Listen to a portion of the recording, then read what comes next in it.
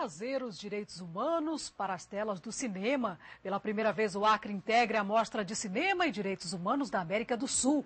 O evento é realizado em 16 capitais brasileiras e a série de exibições começou na noite de ontem. A quarta mostra de cinema e direitos humanos da América do Sul vem à capital acriana pela primeira vez.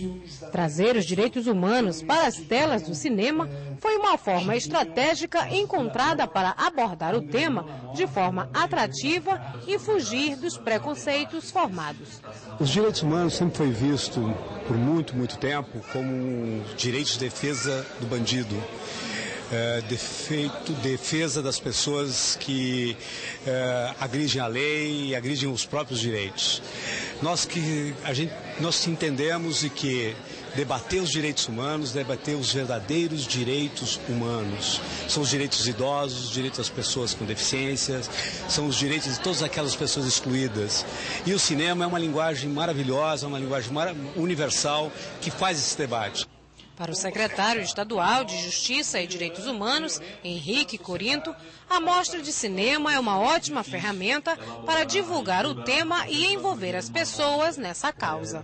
Esta mostra inicia o trabalho de educação em direitos humanos. É a oportunidade que a gente tem de exatamente estabelecer discussão sobre vários temas, sobre educação, sobre direitos indígenas, sobre eh, a população LGBT, sobre criança adolescente, enfim. Nós nós temos vários temas que serão tratados e que serão dignos de discussões posteriores para a gente fixar isso na nossa juventude e na nossa sociedade em geral. Além de Rio Branco, outras 15 capitais recebem a mostra. A série de exposições começou ontem à noite com o filme Os Sapatos de Aristeu, de René Guerra, seguido de O Signo da Cidade, de Carlos Alberto Ritielli. A programação dessa mostra ela é um cardápio para quem é cinéfilo, para quem gosta de cinema, para quem gosta de grandes diretores, de grandes atores. Então, esse ano a gente tem Walter Salles, Tata Amaral, o argentino Pablo Trapero e muitos outros nomes que quem é fã de cinema conhece. Então, é uma oportunidade para essas 16 capitais de conhecerem bons filmes que não circulam necessariamente nas salas comerciais. Só que todos esses filmes, de alguma maneira, eles estão tratando de algum aspecto ligado a direitos humanos.